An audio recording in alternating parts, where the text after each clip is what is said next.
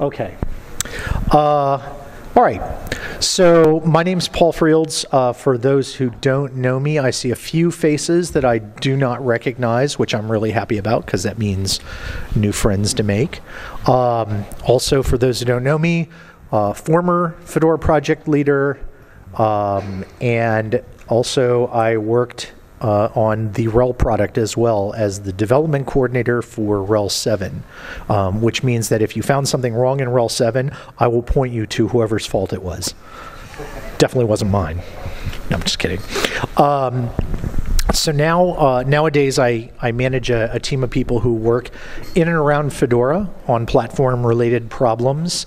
Uh, they don't work 100% on Fedora, not all of them, but uh, they are they spend a lot of time around Fedora, and you probably know many or all of them. Um, and so, how did I, I get involved in doing this talk? Um, basically, because Brendan tricked me into it. He has a superpower for that. So, um, we're going to talk a little bit about life cycle, and uh, this was alluded to in a previous talk. Some of this may be a bit repetitive with that, but again, the idea is that to get the concepts, I think, to sink in. Um, what I'm not going to do is I'm not going to cover a full implementation of how this would work because undoubtedly that is more complex than I could cover here in 50 minutes.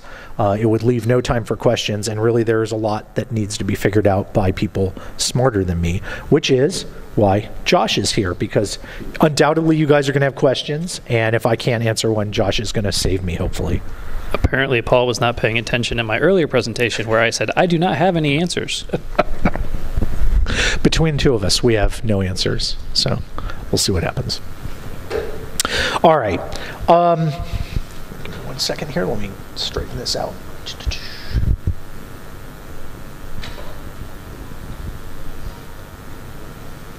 Okay, so why do we call this talk at long last rings?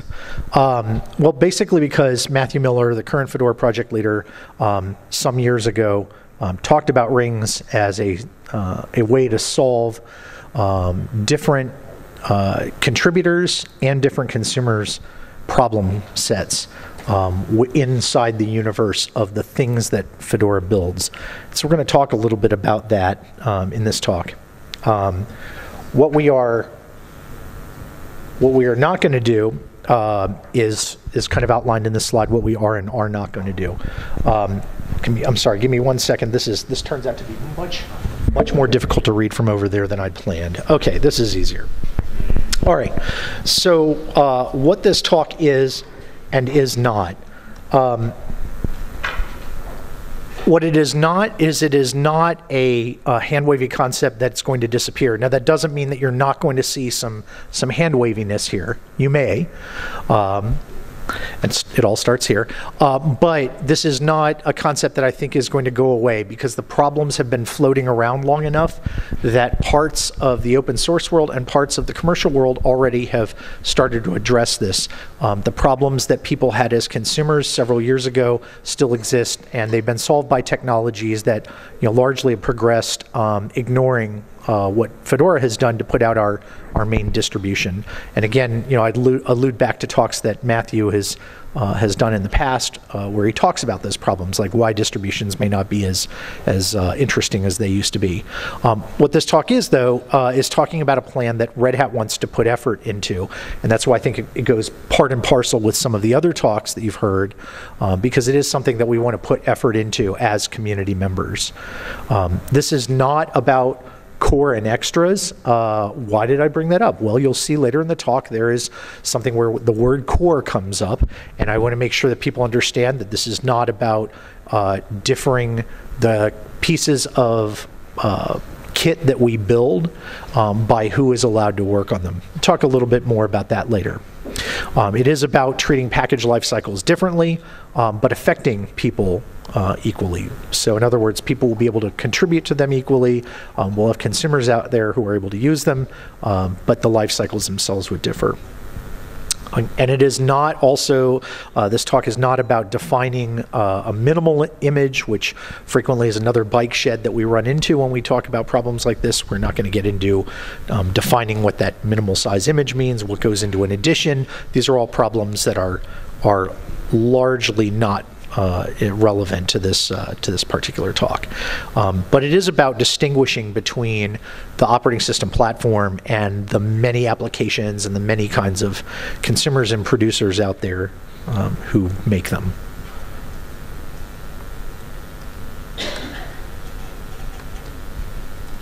Okay, um, so a, a, little bit of a history lesson here. So, um, how many people here were around when core and extras were combined? This would have been around Fedora Core 7. Okay, quite a lot, but not not everybody. Um, how many people were? How many people here were involved in Red Hat Linux or Fedora when they were separate? When Fedora was first first came around, right? I guess kind me kind of. I was around at Fedora Core one. I am old. Yeah, it happens. It happens, Josh, to us all. Um, so here's a little bit of a of a history lesson. So when Red Hat premiered Fedora, um, they did it by opening up a package set or package repo called Fedora Core, and essentially this kind of open sourced uh, what was uh, going into the, what was Red Hat Linux 9. That kind of became Fedora Core 1, or what would have been Red Hat Linux 10 became Fedora Core 1. Because who would ever go to a number higher than 9? 10, that's ridiculous. Why would you ever have numbers bigger than that? I don't know. Matthew's up here putting his his head in his hands. Um, but still, when when Red Hat did this, most of the community members couldn't do anything with those packages. Um, we, there was a a notable repository in those days uh, that Warren Togami uh, used to run out of, I think it was at the University of Hawaii at the time, um, which allowed you to basically add packages to your Red Hat Linux distribution to do things that didn't come out of the box. Um, and that was that really became extras and became Fedora extras. Um, and those those packages were really the only place that non-Red Hatters could contribute to Fedora. Um, at Fedora 7, one of the things that then Fedora project leader Max Spevack, who was my predecessor, as a project lead, um, one of his big projects was to bring together core and extras into one Fedora package universe, which has consistently been produced to this day. So uh, that was uh, that was a really nice thing to have um, for a few reasons, um, not the least among them being that all the package requirements were kind of smoothed out. The overall quality of what was being produced went up because we started uh, applying the same rules to all the packages, whether they were built by Red Hatters or by volunteers. So that, oh, all in all, a very good thing to have. Okay, so I mentioned that this this talk was going to uh, was it was going to reference rings, right? And right here on the screen, you're going to see Ye Old Rings proposal, and this is circa 2013. I realized when uh, earlier, I think Matthew showed a slide, I realized that I had missed the revision of, uh, of, this, of this diagram. So you'll see that here.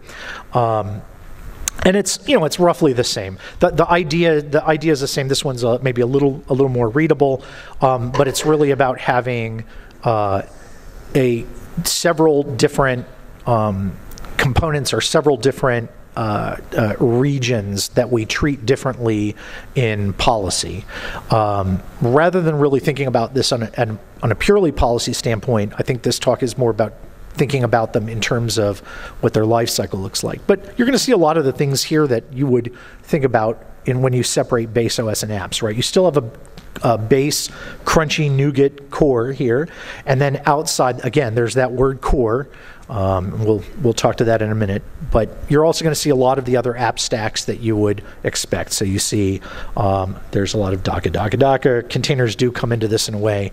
Um, third-party applications. Um, there are different stacks here. You've got additions. All this stuff, and really, uh, what this what this talk is about is okay. Let's forget about all of these various particles that are sort of orbiting here. Just think of, think of this in a very simple way, which is just, again, this sort of crunchy nougat core and then this nice fluffy outside, uh, which is our applications.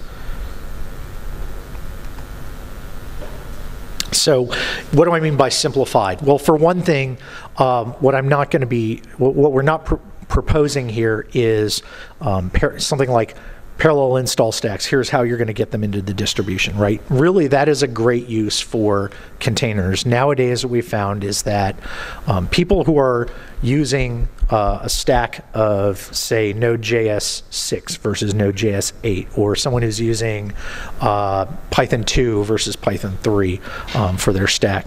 Well, maybe less Python because of how it works, but Perl, say Perl 5 versus Perl 6, are not generally going to be doing that on one system, right? They're not trying to they're not trying to merge the use cases together. Instead, that's a great case for using containers, um, where you have a, a, user space that is going to support the stack that you need. You'll build your application on that, and that's how you'll you'll vend it. Um, it also is not about separating out the just enough OS and the platform uh, which was a, a feature of the original Rings proposal, but instead, again, focusing uh, on the life cycle. All right, so why do we care about life cycles? Well, I think, th- again, this was set out earlier, but we push a lot of content into an official release. Thousands of packages, thousands of RPMs go into building uh, what we ship on, um, say, Fedora Workstation or Fedora Server. Um, I might, you might hear me tend to little tend to talk a little bit more about workstation here. The only reason for that is it's the working group I've been most heavily involved in, and it's typically what I run. Uh, but I think you could probably apply any of this to Fedora Server. You could apply it to Fedora Cloud as well. Um, we push a lot of content into those releases. Um, we push there are thousands of RPMs that become part of uh, what's ultimately going to go out to consumers. And what that means is we have a huge testing and integration service. Uh, the combinatorics for that surface are enormous. And when you're trying to ship something out on a time based release, that inevitably means that there's going to be a lot of things um, can escalate to um, blocking that release when you don't really want them to. And it also means an inordinately large number of people have to be involved in release mechanics, whether you like it or not, right? If your package is part of that release, and because of a very long dependency chain, something you know very high up the stack uh, is causing a problem that then reflects back into that release, then you're going to be dragged into the mechanics of, oh, how do I how do I get this this package fixed in time? I need to get an exception. I'm going to be involved in a blocker meeting that I get pulled into, et cetera, et cetera. And all these happen at the same time, right? So these thousands of packages are all kind of causing the same problem at the same time. And worse yet, uh, because of the way we run our releases, it means that if you're trying to get a feature out, if it's something that is part of, um, let's say that uh, there, there's a particular feature in, in, GNOME or particular feature in KDE or something like that, if you miss the boat um, for the release, then more often than not, it means you're going to have to wait six months to get um, any publicity around that release. Um, especially, and sometimes you may have to wait just to get your feature included um, just by dint of the way that the features work. Of course, we have we have Rawhide, which is kind of a fallback, but the problem is, of course, we only have you know maybe a few hundred people in the world who are running Rawhide day to day.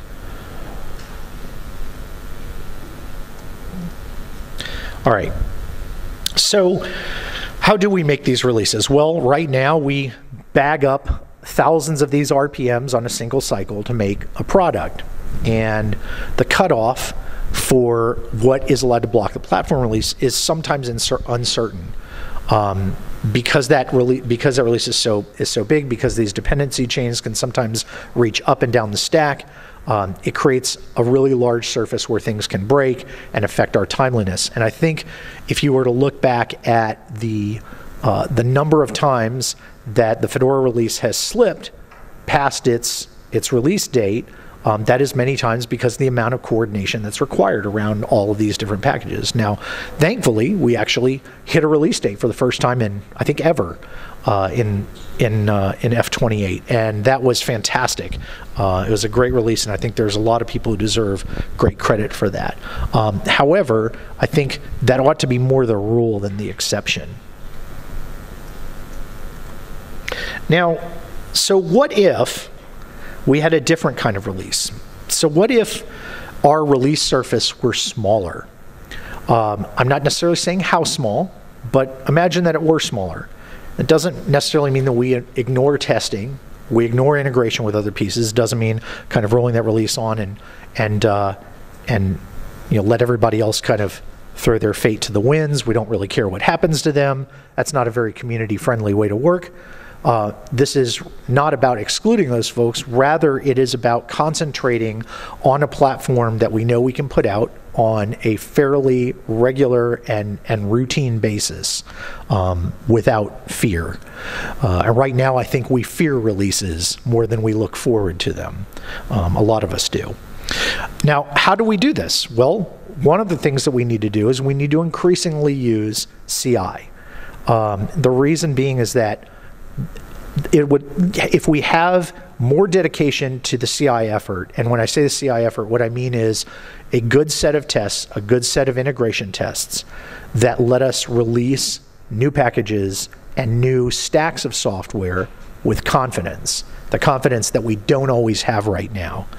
Um, so increasingly using CI so that those pieces can move at their own pace and layer on top of the platform. So we'd have more confidence in the platform. We also can have more confidence in these in these stacks. Um, now, as luck would have it, there's kind of a ready-made surface coming our way. One way we could look at this is, hey, this is kind of a unique opportunity for us to look at the new Fedora CoreOS project that's out there, um, get interested and see if we can build on that. Um, Fedora CoreOS uh, as you guys know, our, it's a rpm-ostree based uh, system, um, it, or I guess on the way. And that presents a lot of unique opportunities, right? Uh, one of them being that uh, the the whole operating system comes out as a piece and it's tested together.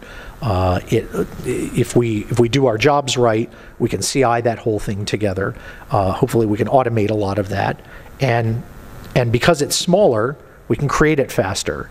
Um, it's my belief that one of the major problems that we face right now is that the time it takes to create the thing that we call the Fedora OS is extremely long hours and hours and hours. And if we get it wrong, and we sometimes we can do another one that day, maybe even a couple more that day, but mainly that happens because of the heroic efforts um, of people like Mohan. Uh, I don't know if Mohan Mohan's here. Great.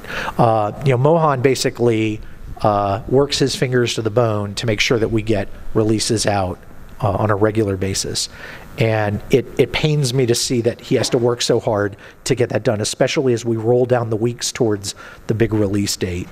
Um, it will be wonderful if we are able to create smaller things faster as opposed to a gigantic cornucopia, which has to be complete, and everything has to be in the right place. The grapes have to be over here, the oranges have to be over here, the bananas have to be here, et cetera, et cetera, in order for that cornucopia to be presented to people, instead of maybe just presenting them the thing they really wanted, which was a grapefruit, right? They just wanted that, that grapefruit in the center.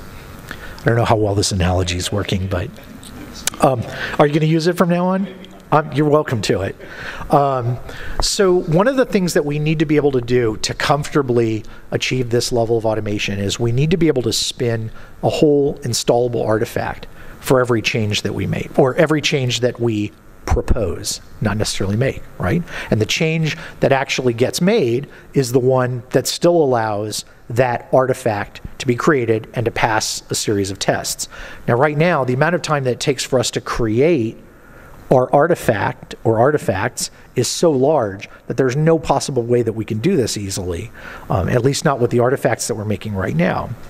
Um, so one of the ideas I think that that we ought to be looking at is slicing that base OS down to a smaller level, something that we could reasonably create in, in an on-demand basis in maybe just a matter of minutes who knows, maybe even less, depending on how it was built.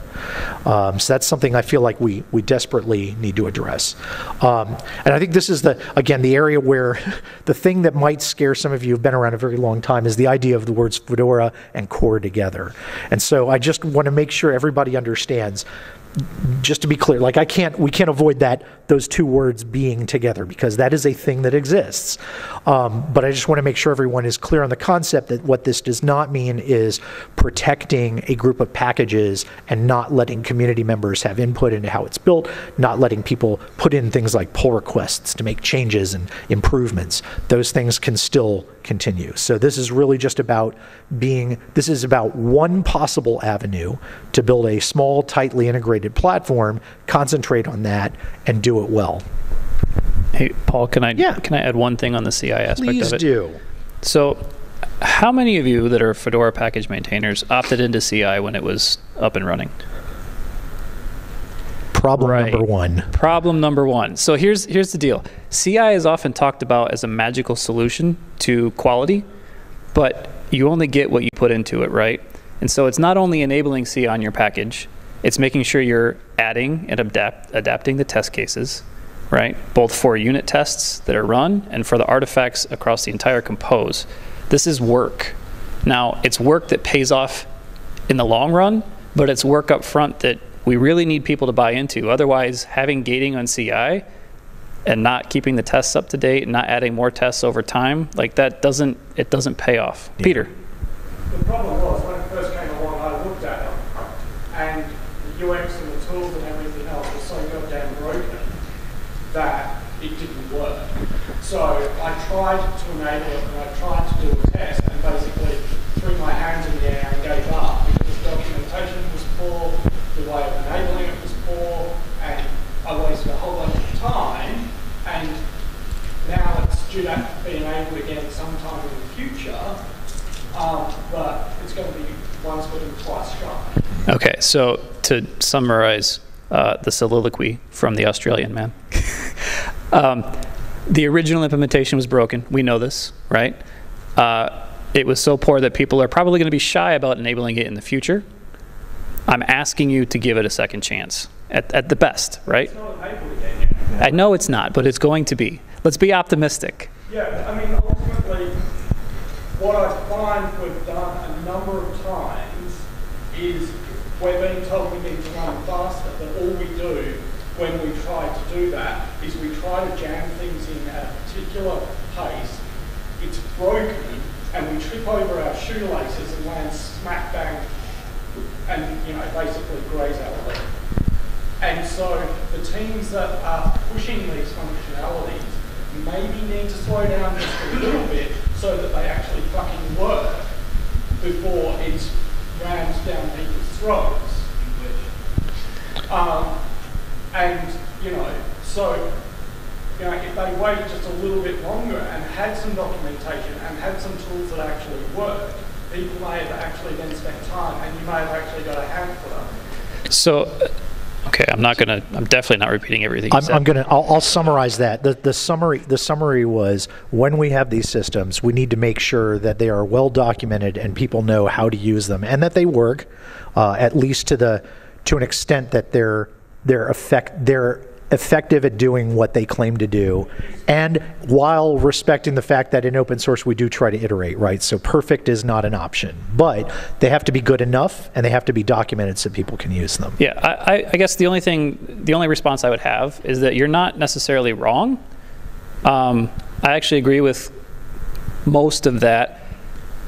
The point I would take away from that is a lot of times people don't pay attention to something until it smacks them in the face, right? Like they just, they literally, unless they have to do something or they somehow hear about it and are interested, they ignore it. And so it's very hard to iterate on a UX and provide the things that people are expecting when nobody's giving feedback at all. So I'm not using that as a defense for the rollout. I'm not even necessarily saying that it's uh, the maintainer's fault because it's not. Like I think there's a middle ground between having something that works and ha- being able to iterate, like Paul said. No, and I completely agree. And like, you know, you're using CoreOS as an example, and for me, IoT is another example. Like, I have a completely separate release engineering process where I can step whenever I want. And I mean, I have the knowledge behind that to do that, and I've done it in that way so I can be more independent, so that I, the IoT working group can run as fast as we want to or need to. But when I look and I want to use CI for everything in IoT because basically I'm lazy and I don't scale that well. And so don't get me wrong, like I'm quite happy to be the sort of person or the group or one of the groups that sort of trials this stuff. But when I try to sit down and do it and like I'm fairly au fait with most of the way the Fedora infrastructure and the Fedora release engineering process and various other bits and pieces happen. And if I can't work it out, everyone else is going to, you know, be. And so if it's bad enough that I can't work it out, you've got a problem. So I, Peter's I think I heard him volunteering. Yeah, to- I was just to- going to say, to like, it sounds like you have a pig the way you solution. know. Maybe we should have you talk to the people who are trying to implement a solution. Yeah. Stef, So one, one thing you'll notice is that when a project gets into CI, like, you know, just as part of the development workflow, you end up spending about twenty-five percent of your time, the folks involved in the project on CI. And it has benefits way beyond that. It's a significant amount of effort. Um, and so the folks working on fixing what you're talking, the, the issues that, that, that you raised, which are very valid, have, you know, have taken four months so far, we'll probably take six before it's actually enabled again. That is at a pace that Fedora can't afford, quite frankly, and we're some of this stuff off. So, I mean, for, so I guess the other solution I can see is, I guess, more people getting involved and, and us being able to do these things more quickly, but to the quality that you're talking about. So essentially, we bring more effort between all of us. I mean, I want to These just- are not for people, people from another product. These are for people who are participants in, the, in this community and have been these long for Seattle. I mean, ultimately, I don't expect perfect. I mean, I've been working in open source long enough. I've worked with Red Hat products and consulting to know that even the products that Red Hat calls GA are nowhere near perfect, right? But it wasn't usable. all right. So So things things need to improve, and and it's going to require effort from all of us in this room to help improve them. Right? I think that's that's Let- my takeaway. can we come back to your point? Because I think Paul has more slides. Well, I, I do. No, no, no. I'm, I'm willing to take another point. I just want to make sure we don't become like a just a dialogue between. a yeah, no, that's people. fine. I was add a comment. to that, which is- Add a comment, Langdon. So, I mean, I think one of the problems that we do as our project is when we hit release date, we think we're done.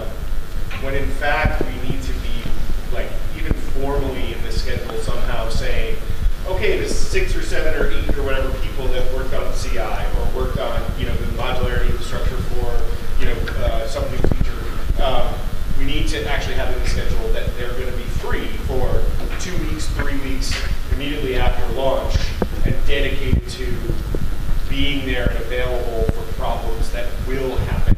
Because to, you know, to your point, Stef, like, we still need to go fast, right? So maybe there are ways we can mitigate it without slowing down. All right, so I'm going to summarize that. Remember, when you guys give answers, I have to repeat everything you say, so that's hard.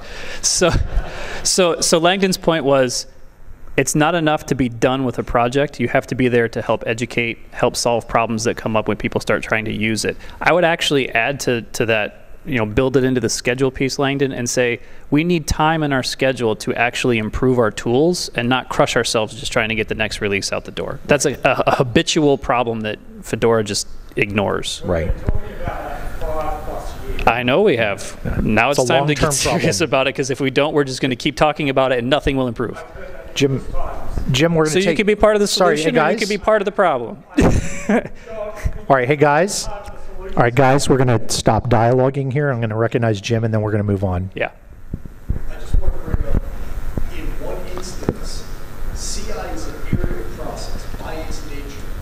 This one solution doesn't work, we're all still locked on this one thing. But right now, there are more CI solutions than just that. You don't have to look at this one and say, this is broken.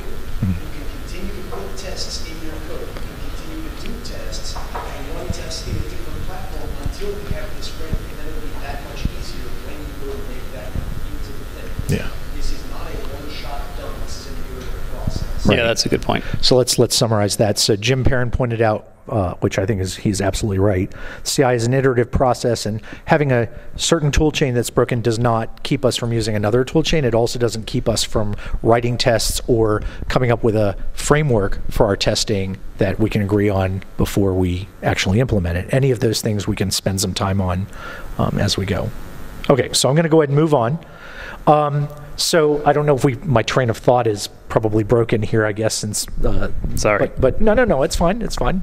Comments, questions are always good. Um, so I think that the key here uh, is that people want applications, right? They want containers, they may want Flatpaks, etc. and those are based on packages. So what I'm not saying is we're not going to throw away the baby with the bathwater. We're not going to do away with the idea of RPMs as something that's important, something where quality um, really comes through from the community. Um, there's auditable source, et cetera, et cetera. There are all these ways that um, that RPM packages uh, can allow us to produce good quality outputs for people. But I am arguing that by and large, the rest of the world doesn't tend to be interested in those. There was a time where, and, and I and let me back up because I don't want to say they're they're not interested in RPMs. Uh, what I want to say is they are not interested, by and large, in individual Linux packages, and that might mean RPMs, it might mean DEBs, whatever. By and large, the rest of the world has moved on. We have not. Uh, that doesn't mean that we should give up RPMs, but it does mean that we need to stop thinking of them, of them as the be all end all of how we build things and what we offer. Um, so I really, hopefully, this is a way for us to kind of take the the the discussion, I guess, maybe away from looking at the RPM as the the single artifact that we that we care about. Um, so, what about applications then? Well, well, how would they work in this in this idea? What I've talked about so far is really more about the the operating system and kind of reducing that platform down to a smaller level. Well, in this kind of system, our large or important stacks might be able to release on their own timeline right? They might do that as modules, as Flatpaks, as containers, and all of these are going to get some airtime here at Flock. So if you have a chance, um, I encourage you to go see the talks that are about modularity, that are about Flatpaks, um, that are about container technology. So some examples: um, desktop environments, integrated suites or tools, uh, our uh, language support, right? All might be eligible um, for for that space. Um, what I think this buys us is more independent community work around the releases? Well, first, obviously, there's the there's the the hopefully the self-explanatory um, uh, byproduct that you know if those are able to release on their own timeline, we can actually get them out on their timeline as opposed to on the timeline of Fedora, which is not always a good match. Sometimes it is. I think there are some times where it is and isn't at the same time. And maybe a good example of that might be something like GNOME. Um, we tend to not be able to release GNOME uh, directly on time with its releases because it's a very large stack and there's some time that goes by. And even though we are on roughly the same kind of cadence, we're on a delay. So, in, on the one hand, it doesn't allow us to release it on time. On the other hand, it has actually bought us something good, which is a lot of times we inherit the dot one bug fix release after the release. And that is good because it means our implementation looks really good when it comes out the gate. On the other hand, we lose the, the partnership that we might be able to have by releasing on time. If we were able to do both, I think that would be wonderful. Um, so there are opportunities around that. There are also opportunities for contribution uh, around the work of this marketing. Who are the people who are going to reach out and talk to these different communities and get engaged and help bring the package maintainers in Fedora uh, together with the upstream where needed? Uh, if those people are already there, if they're already working closely with the upstream, which often they are, how can they reach out then to people in our Fedora Mindshare community and engage them so that we can have build up more awareness around the good stuff that we're able to ship uh, on top of an, a well integrated platform? So those are just some of the things that, that we could improve. Um, so I, what I, I guess the point that I want to get at is that there's not really a, a one size fits all life cycle here, right? GNOME may be an example where we do have a, a good cadence match, but GNOME isn't is is definitely not the be all end all of, of all open source out there. Um, so there are different life cycles that we could embrace. Uh, one being based on uh, upstream cadence, and again, these are these are alternatives. So these are not uh, to all be done at once. These are going to have different weights depending on the nature of the upstream and depending on how it fits in with Fedora. So, one way to, to release might be along with the upstream cadence, let that dictate how the release for that stack goes down. Another basis might be releasing on a quality basis, right? Our operating system platform might be managed that way, or maybe not. Maybe there's an application platform that we want to manage that way based on its integration with Fedora. Initiative planning might involve a stack of software that we need to push out in association with that initiative. So we could have that fit into an initiative planning without regard for whether it's going to go out on, is it going to make Fedora 28? Is it going to make Fedora 29? Rather, we produce that stack and we can use it on top of the platform that, that makes the most sense. So again, I, I think part of the reason that Fedora ought to look at any initiative like this is encouraging contribution, right? Um, if any of you saw Matthew's presentation earlier, um, I, you know, I, I know that we have a, a really good base. We have a really good base of uh, experienced people involved in Fedora. Um, the thing that I worry about, and I, I, I think that I want to maybe highlight, is the fact that the other bands of new people have not been growing in some time, and that to me is a worry. Um, I think that ways that we can encourage contribution and have that contribution come in in a in a methodology that people are used to using in the open source world is a good thing. So, having more automation of integration testing uh, is is helpful. Then anyone can help by contributing tests, right? We have an we have a way to do this. We have a mechanism for this, using Pagure, using the tests repo. So this is a way that anybody can write a test, send a pull request, have it considered, and even have that test tested, right? Um, increasing our linkage with upstream efforts and cross projects sharing. So, again, these are ways that our, our contributors can get more involved with a release without having to be tied in necessarily with, to the same deadlines as hundreds of other Fedora contributors all at once, basically sucking all the wind out of our, our forward motion. So, working with upstream to boost our, our ability to get new things out while they are new. Um, also, I want to note, I, I, feel like modularity deserves to be called out here. Um, I think people don't focus on it largely because we're fitting into a single si- a single cycle platform right now. But the problems that modularity solves um, are important to developers and to system owners. If you want to, if you're still not up on modularity, you not haven't really bought into it, you're not really sure what it means. There are going to be talks here on modularity. I think Langdon has a has a talk on modularity happening. Uh, when is it? 10:30 tomorrow. And is there anybody else? Stephen, you're giving one on modularity as well. Three, three more talks. So there's enough modularity for everybody. Um, so look up their talks and and uh, and definitely drop by um, to be more useful to consumers, right? Those people who are those developers and system owners, we need to pay attention to life cycle issues because they're by and large not interested in a platform that's really only kind of leapfrogging every six months. They want what they want when they want it, and largely they want it to run on a platform that is that's that always works. So if we are not paying attention to these life cycle issues, we're constricting Fedora's user base. And the outcome from that is that we're also restricting our contributor pipeline.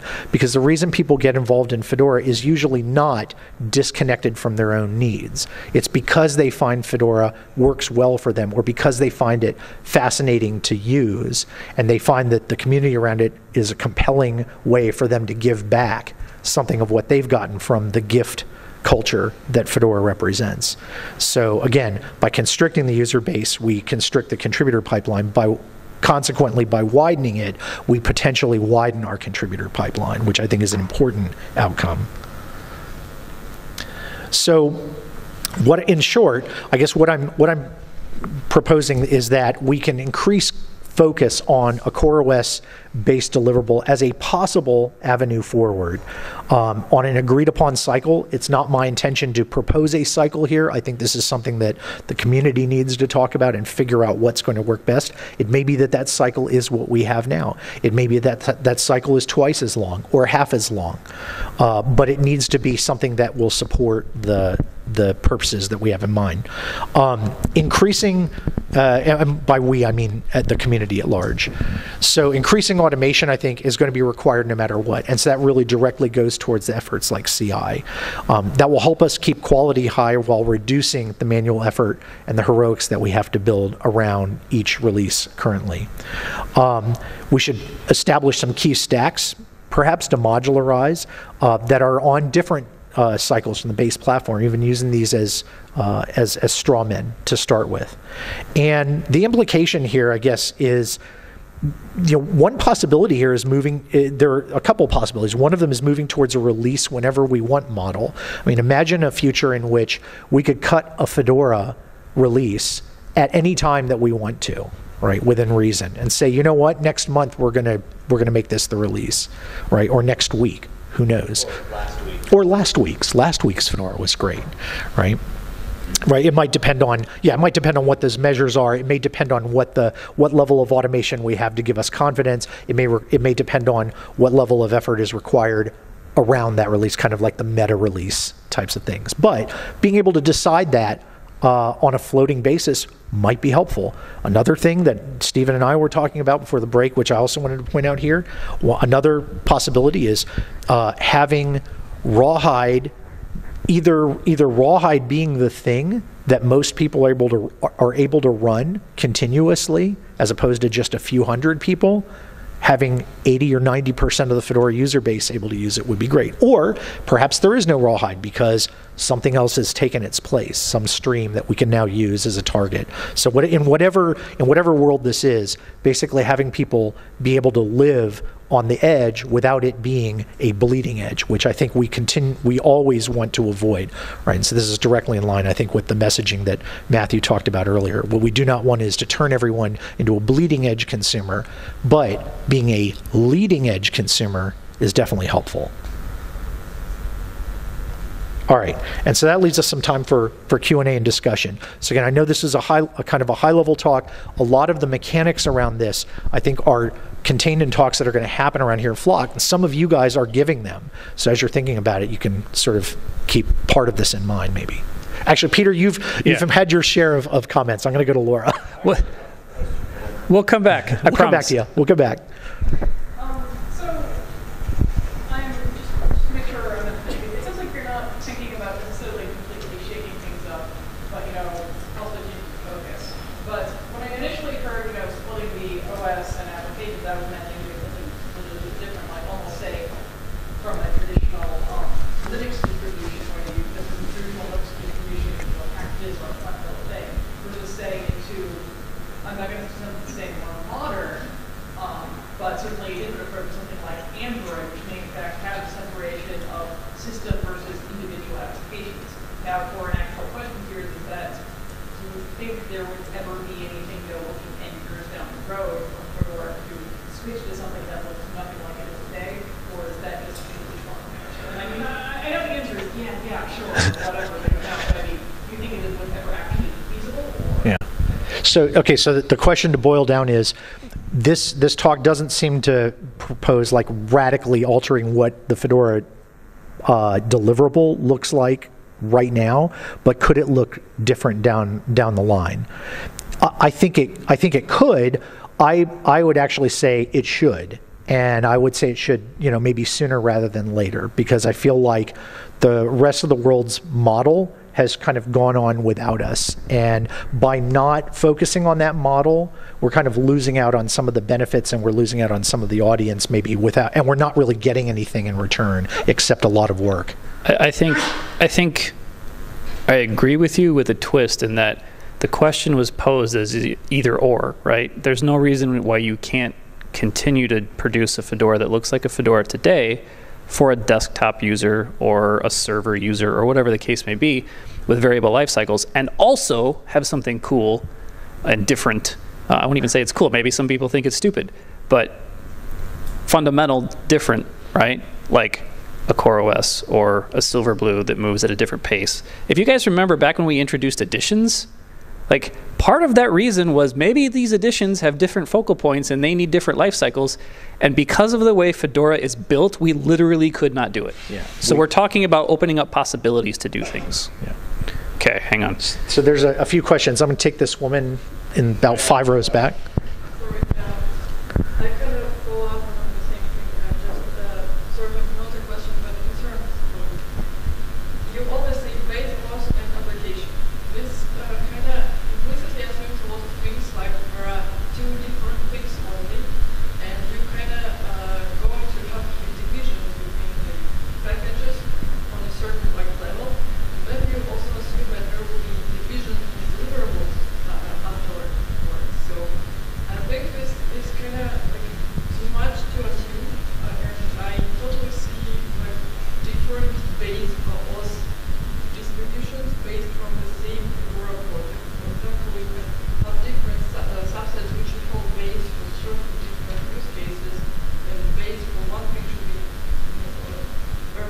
basically one uh, workstation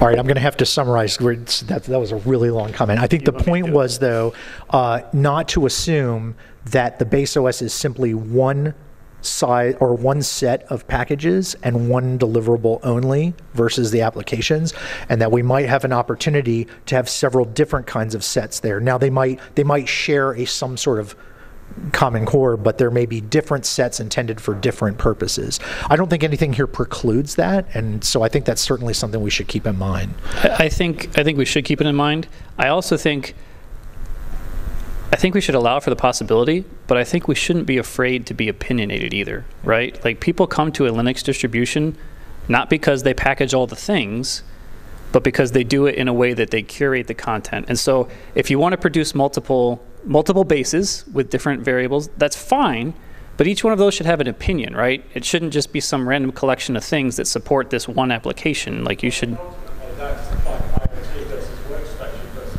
yeah, right. Like we already kind of do this in the way Fedora does it, but our build system or infrastructure isn't set up to allow what you're suggesting. Right. Just that infrastructure will diverge, and then you will not have a possibility to move uh, things from application to base or back again. So this is my main concern. We said like once we divide and base was for one way, application goes app store or whatever way, and you kind of lose the connection. So I, I think there's, I think unpacking that, there are probably a lot of concerns that would have to be resolved. I think, you know, that, that's going to be the, that's going to take the form of probably hundreds or thousands of email messages following, you know, this, this conference. So I don't think we're going to untangle it all here. I want to get one more question. Owen, and I, we're going to be out of time, I think, after that, because we have one more minute. So, I'll keep, I'll keep this short.